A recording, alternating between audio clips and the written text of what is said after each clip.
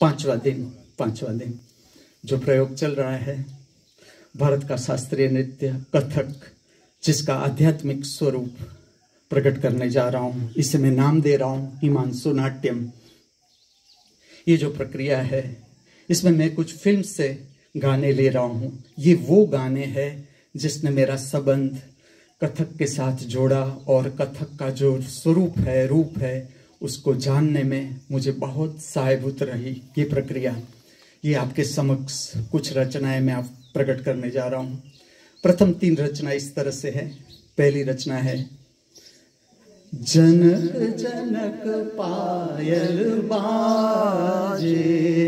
जनक जनक पायल बाजे।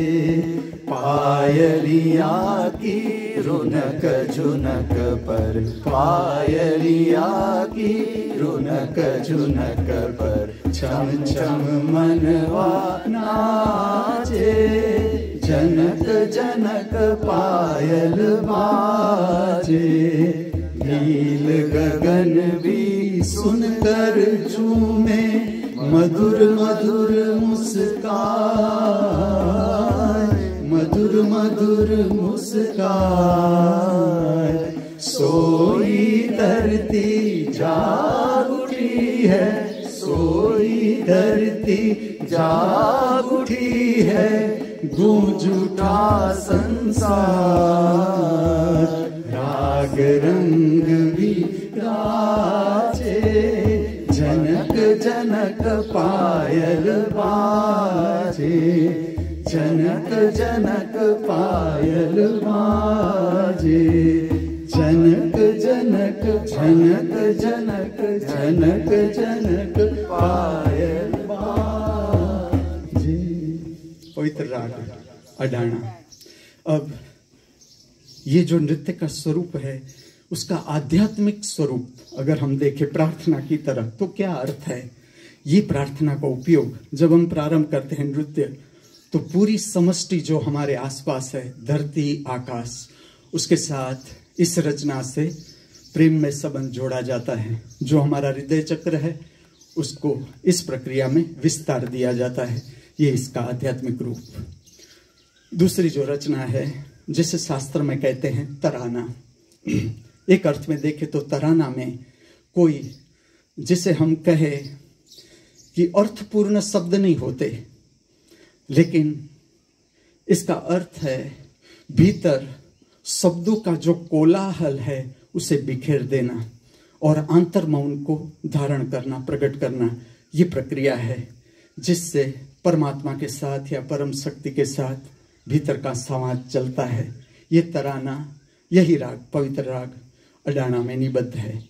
ये जो प्रार्थना है ये रचना है। इसका आध्यात्मिक स्वरूप ये होता है, जिसमें हम आह्वान करते हैं।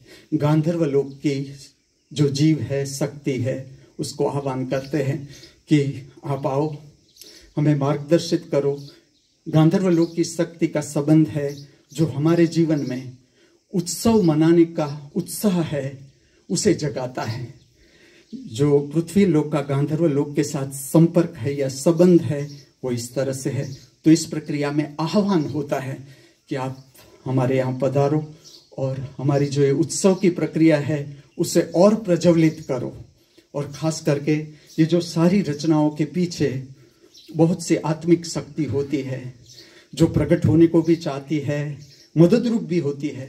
जब इस तरह का हम ये प्रक्रिया कर सकते हैं अरेंज कर सकते हैं। इसमें भी इसका बहुत हाथ होता है। धीरे धीरे धीरे पता चलने लगता है इसमें। तो ये प्रक्रिया दूसरी रचना में आह्वान आपके सामने प्रकट कर रहा हूँ। तीसरी रचना है, गाना ही है।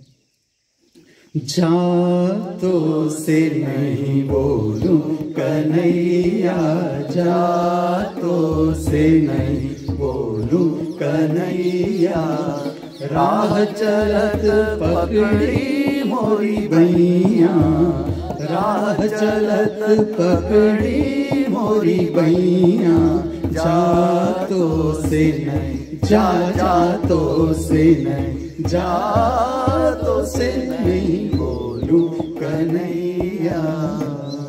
पवित्र राग हंस ध्वनि जो संध्या समय का राग है चाहे प्रातःकाल की संध्या हो, सायंकाल की संध्या हो, इसमें इस राग का उपयोग किया जाता है। इसमें निबद्ध हिंदी भाषा में देखे तो मेरी दृष्टि से हंसध्वनि राग की सर्वश्रेष्ठ रचना, जिसमें कृष्ण और राधा का पवित्र प्रेम अभिव्यक्त किया गया है, नृत्य सबर अभिव्यक्ति में।